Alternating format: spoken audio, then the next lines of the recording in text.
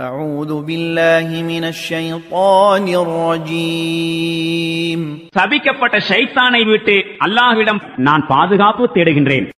وإذا تتلى عليهم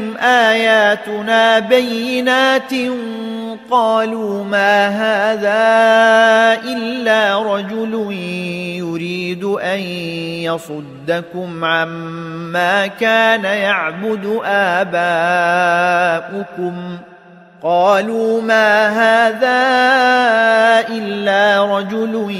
يريد أن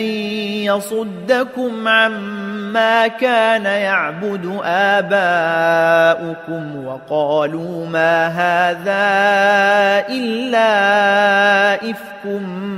مفترى وقال الذين كفروا للحق لما جاءهم إن هذا إلا سحر مبين இவர்களுக்கு நம்முடைய தெளிவான வசனங்கள் ஓதி காட்டப்படும் போது இவர்கள் கூறுகின்றார்கள் இந்த மனிதர் விரும்புவதெல்லாம் உங்களுடைய முன்னோர்கள் வணங்கி வந்த தெய்வங்களை விட்டு உங்களை தடுத்து விடுவதுதான் மேலும் கூறுகின்றார்கள்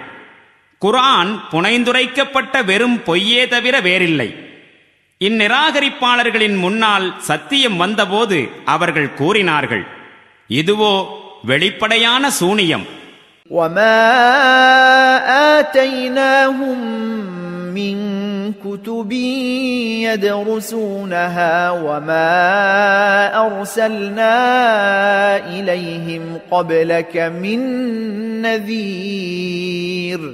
நாம் இந்த மக்களுக்கு இவர்கள் படிக்கக்கூடிய வகையில் எந்த வேதத்தையும் முன்னர் வழங்கவில்லை. மேலும் உமக்கு முன்பு எச்சரிக்கை செய்பவர் எவரையும் இவர்களிடம் நாம் அனுப்பவும் இல்லை.